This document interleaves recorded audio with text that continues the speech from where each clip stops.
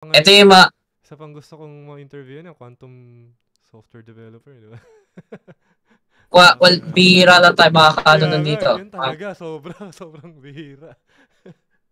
Actually, yun din yung gusto ko rin i-dwell eh, yung quant, uh, quantum co- computing, which is, it, involve, it also involves quantum physics. Yeah, Kasi mag-aaral ka na ng ano dyan eh, parang, na. well, basically, si- basically, concept kasi ng quantum physics, ina-apply mo na siya sa sa machines eh. So, more like, mag, mag, mag partic- uh, sa physics kasi particles.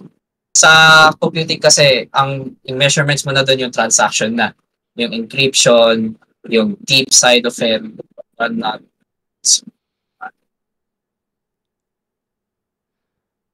Teka, ano pala, Eh. ah, shoutout pala kay Sir Joff. Ang dami niyang ano eh.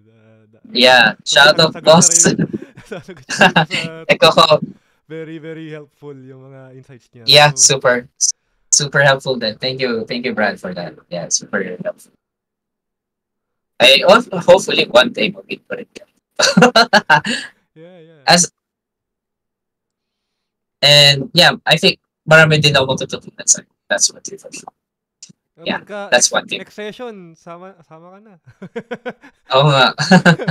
Para mas ano, mas, ah, mas solid. Pag ano tayo, parang panel talk or pan panel talk tayo or something. Yeah, pwede naman. Yeah. Okay.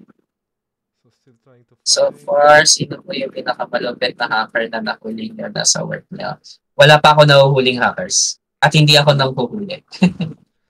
Yung Ah, Samurai, ibang ano, di ib- ba? Anonymous naman sila eh. Hindi naman sila, ano, di ba? Oo. Pero, hindi ako, ibang usapan kasi yun eh. Ibang field gagawa doon sa ng cybersec, yung manghuhuli ka. I think, um, I forgot which department it is. Yeah, pero may, may, may, may ganong area na ng part of cybersecurity na once na matrap mo yung ganitong person, pwede ka magpatawag ng police. Kasi, tawag na tawag.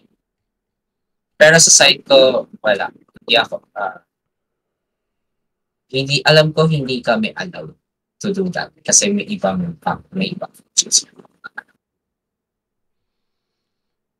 If I remember, if my memory serves right. Matagal na rin kasi na kwento sa amin to. eh. So, that was really Ako may tanong dito. It, ito pinaka-controversial na tanong sa sa gabing to. ano, In terms of sahod, worth it, okay, go. worth it Go. ba daw ang, ano, ang, ang cybersecurity? Ito talaga, Ano, ano, ah, in terms of sahod, worth it ba daw ang cybersecurity? Tanong ni Dean. sa Pilipinas, depende sa company. depende.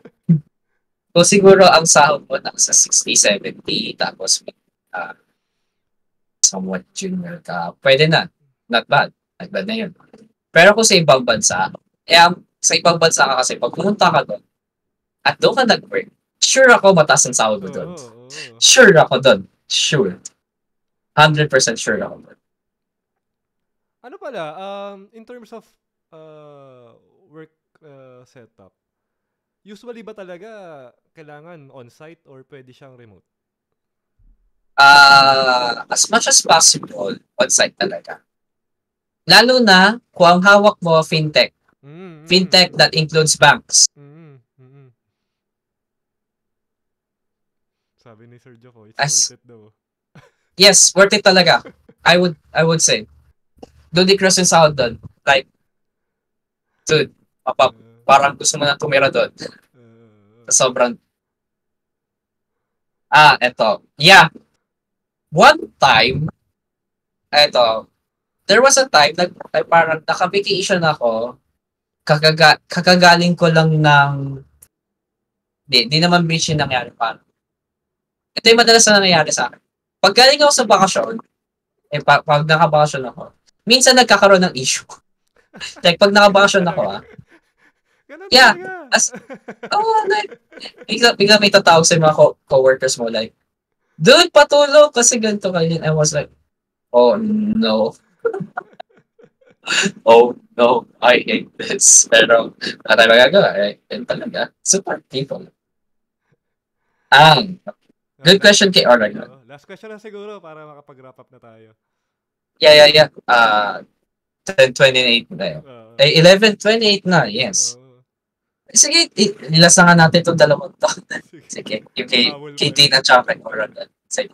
Kay Oragon muna. May mga levels din ba sa pagiging cybersec like the junior, senior, and uh, chuchu?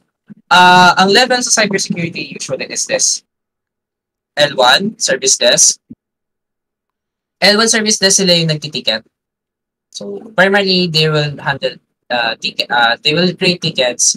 They will also analyze it kung threat issue ba siya or malware or product issue siya. So, ganun. Then, after nun, papasa na sa L2. L2 analyst, SOC analyst. Wherein, ang gagawin niya is this.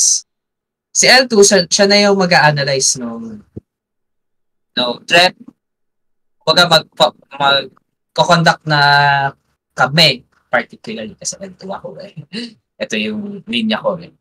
Ah, particularly, ito yung magano ka threat hunt. Ik- Ikaw na yung mag, ikaw na yung mag-establish ng facts doon sa based sa ano mo, findings mo, may findings ng threat or what. So, ikaw yung magde-determine kung ah totally threat ba siya or kailangan siya ilipin sa product, something like that. Kasi ikaw yung mag ikaw yung mag-establish.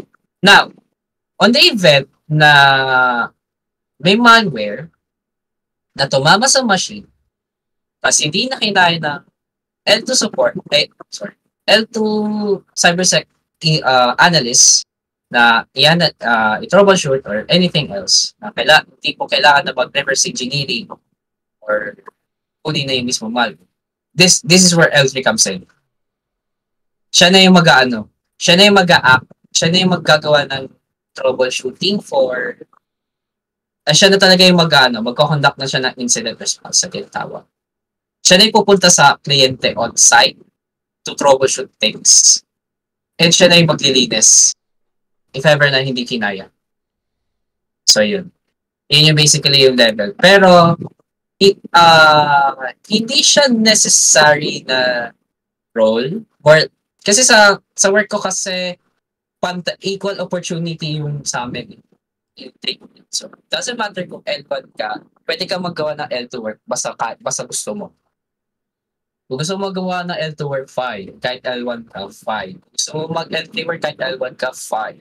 The, the, the, the opportunity is yours. As long as you're willing to learn, you're willing to uh, dedicate every day just to give concept, give concepts of it, like to learn the concepts, and lastly, pasensya mo, kailangan taasan. Yan. Kasi, kailangan mo mag magpo-forensics ka dyan eh, pag nag-L3 ka eh. Tapos mag, kailangan mo rin mag, since mag-establish ka ng facts, kailangan mo ng masinsinang research yan. Like, literally. Literally, you need to do some research. And then, kay din naman, ga, ah, as ko na, gaano katagal ma-resolve yung pinakamatindis na malware na encounter ko. So far kasi, wala, in my entire years ng cybersec, wala pa akong client, ah, wala pa akong nakikita yung tipong na-infect, na-infect ng malware talaga yung mga machines. Ang madalas kasi na-handle ko na incident. Spoof email. Kung hindi spoof email, user impersonation. Which is it took a day to finish all of those. Like from the start to finish. Like from analyze, analyze yung facts, tapos yung recommendations, apply, apply nun, ginawa siya in one day. Unless otherwise, uh, nagkaroon ng DDoS, nasira ang machine. Yeah, or server. Nag-usal. Tapos yung server. So, yeah. I think Yeah. that's it. Grabe. So, daming, Oo. daming, daming natin natutunan. So, Yeah. ah, siguro ano na lang, um, last words, uh, advice so to anyone who's uh, who's really interested into getting into cybersecurity. Okay, so here's my uh, advice, especially sa mga, well, applicable to sa non-tech at saka tech people. So, lumipat ng cybersec. Ah, at siguro, follow nyo lang tayo steps. One is, make sure that your heart is leaning sa cybersecurity. Meaning, leaning talaga yung puso mo doon. Second is, if you're leaning to cybersecurity, you are willing to sacrifice your time, your uh yourself, and your uh you call this, your career, current career, just to make sure na na makakapag-join ka sa cybersecurity. Literally, you need to sacrifice those. You're willing to. You need you need to actually. If ever, if you want, if you really want. Third is, even if uh, sabihin mo magaling ka na, always remember may mas magaling sa'yo at matuto ka sa kanila. Mhm, mhm. Pangapat, uh, be kind. Yeah. Be kind to yourself and other people. Yeah. Be kind. Huwag mo pahirapan yung sarili. Huwag mo, huwag kang maging hard sa sarili. Kung kung gusto mo mag ah, yung kung gusto mo talaga mag-aral ng cybersecurity and gusto mo talaga mag-switch pero you're doing drastic steps.